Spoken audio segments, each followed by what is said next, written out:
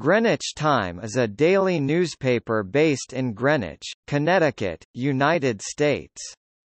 The paper shares an editor and publisher with the Advocate of nearby Stamford, Connecticut.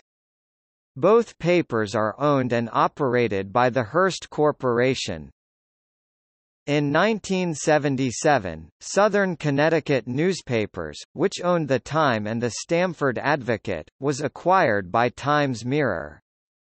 Times Mirror was acquired by Tribune in 2000. In March 2007, Tribune announced it would sell the two papers to Gannett for 73 million United States dollars, but the deal fell through when Gannett refused to honor 35 Advocate Newsroom Workers Union contract with Local 2110 of United Auto Workers. The Time and its sister paper, The Advocate, were sold to Hearst for 62.4 million United States dollars by Tribune Company in a deal that closed November 1, 2007.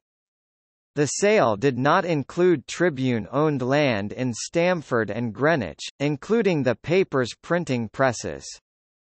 Hearst prints both The Advocate and The Time at the Connecticut Post plant in Bridgeport.